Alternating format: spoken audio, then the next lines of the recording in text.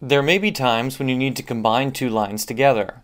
In an instance like this here, on this house, it looks like there are chunks taken out of the corners of these lines. What this actually is, is that the line segments stop.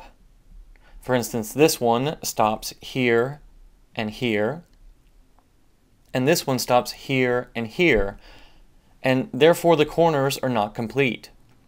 If you combine the corners, then they'll join to make a seamless line.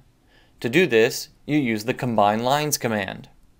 You can enact the Combine Lines command from the Edit menu or by clicking on the toolbar icon. Follow the dialog at the bottom, set point on lines to combine, click one time with the left mouse button on the first line you'd like to combine, and then click one time with the second line you'd like to combine. Notice that the corner is complete now, and that this is now one continuous line segment. You can press the F4 key to enact the same command again with the previous settings, and continue combining lines until all of the lines you wish to be combined are.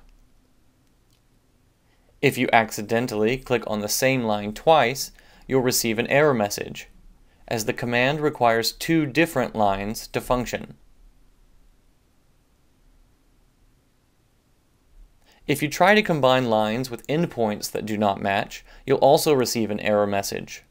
The lines must share a common endpoint to be combined into one line segment. To combine these two lines, simply drag the endpoint to match the other line, and then you can enact and use the Combine Lines command.